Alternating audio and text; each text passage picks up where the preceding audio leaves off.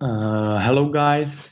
Uh, we are from Mejzlik uh, Propellers, Czech Republic, uh, and we prepared for you a short video about our static thrust calculator.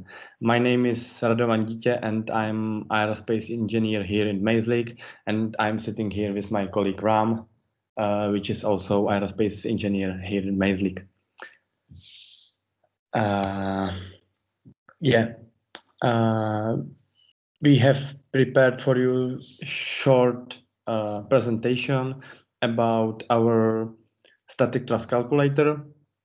Uh, this calculator is available on our website in technical data section. You can download it for free. Uh, this calculator is based on our multi-copter propellers measurement, which we perform in-house and then we do uh, interpolation and extrapolation to provide you with the data for different configuration diameters and different type of uh, different number of blades uh, of the our of the shelf multi-copter propellers. This uh, calculator is uh, quite precise because it uses uh, real measured data. We have prepared a short uh, case study for you to present present you how to uh, work with the with this uh, calculator. Yeah. So um, first thing the calculator needs is the weight estimation of your drone. So uh, in this case study, we will assume that the weight uh, maximum takeoff weight of the drone is 20 kilograms and it's going to be a quadcopter. Uh, and this calculator can be only used for uh, multi-copter uh, UAVs. For fixed wing, we have a different calculator. So in this, uh, we'll see only about the multi-copter uh, uh, drones. So let's say the maximum takeoff weight of the drone is 20 kilograms and it's going to be a quadcopter. So if you want to um, calculate the thrust per prop, you divide the number of propellers by the takeoff weight, which is five kilograms. That's the weight ratio of two, which means the maximum thrust per propeller should be 10 kilograms. So the hover thrust is five kilograms and the maximum thrust is 10 kilograms, which is per propeller. And the operating condition is a standard uh, international air standards, which is uh, 1.225 of uh, density. And we can also assume that there is a max maximum diameter that you can fit on the airframe is 30 inches. Uh, even if you don't don't have any kind of these restrictions, you can um, if and if you want to know what diameter to use, we have a calculator called uh, disk loading calculator. Uh, in this, you can see a meter here, so you should always have it in the green region. Try to have it in the green region. So it's basically if you put in the diameter, uh, which is 20, let's say 26 inches, and the required thrust to hover, which is five kilograms. And then you can see that uh, the disk loading is 143 Newton per meter square. You should always try and uh, have it as low as possible but definitely we should not go more than 200 newtons per meter square. If we go, then probably we will fly only for a short duration or the aircraft is going to be too heavy that it, it won't be able to take off. So you can also try putting in different numbers. So if you increase the diameter of the prop, you can see that the disk loading is reduced.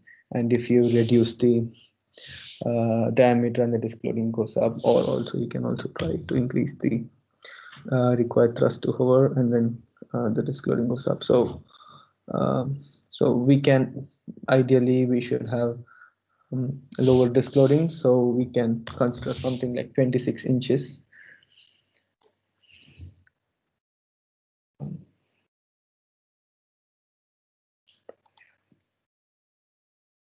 So next slide, uh, yeah. Yeah, so um, using our um, static, static thrust calculator, uh, we uh, estimated the mechanical power consumption for three different uh, propeller diameters. Here you can see how our static thrust calculator looks like.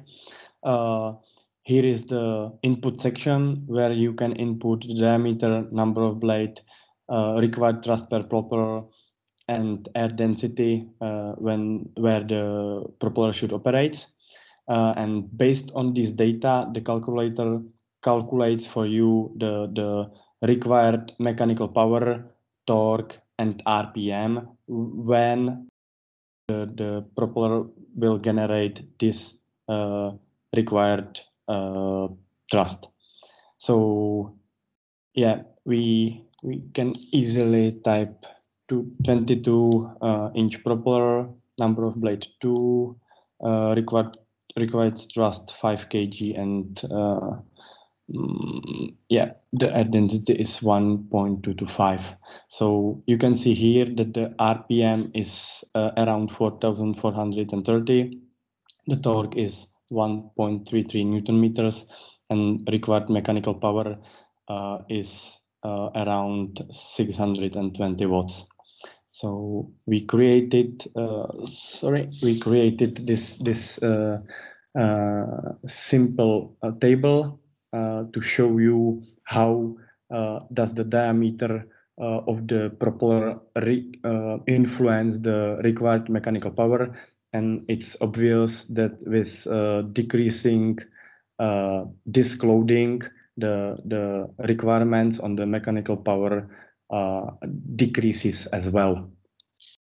Uh, um, regarding the motor selection, um, we need to calculate the um, power that uh, maximum power the, of the motor for the maximum thrust. So uh, we already discussed in the specification that the thrust rate weight ratio is 2 and the maximum thrust per propeller is 10 kilograms.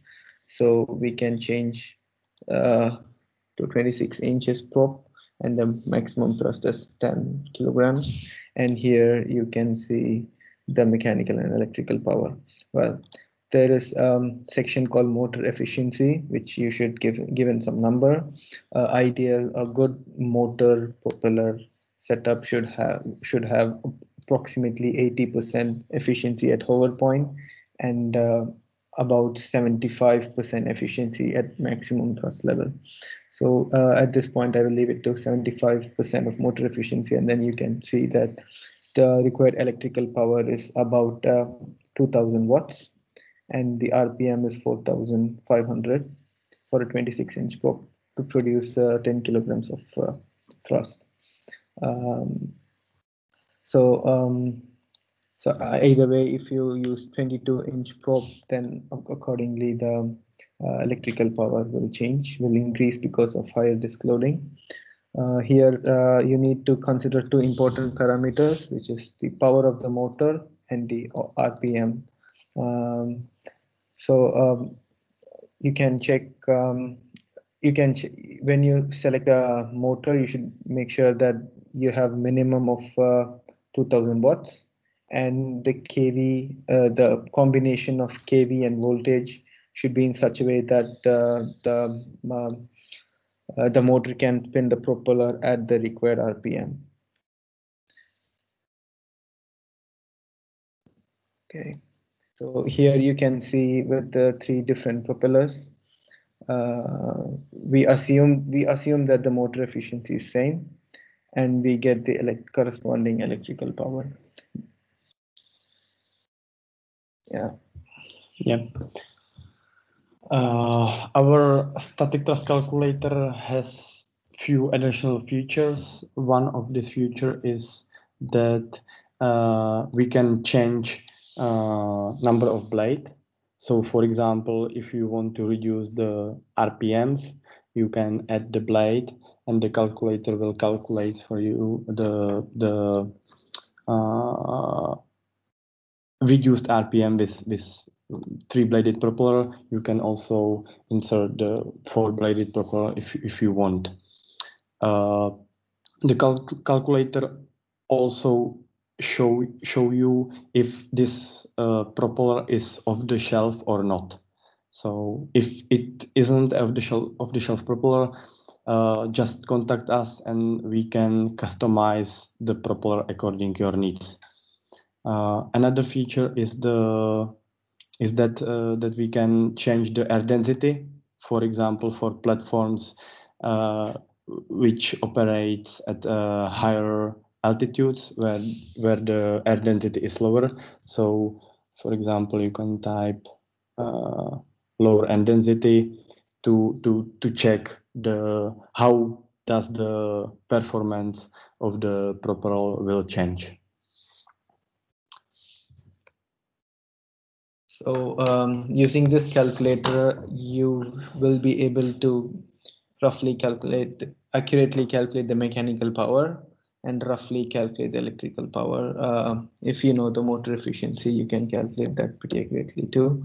And using this tool, you will actually get some guidelines to choose the motor and you can and if you and uh, you since you get or you, you also get the power consumption you will also get a very rough estimate of the flight time if you know the uh, battery capacity. Um, yeah you can download this calculator in technical section from our website. Yeah maybe one more important thing which we should mention is that uh, uh, here in the section propeller performance, uh, you will find the the, the performance of, of the uh, given parameters of, for for chosen propeller.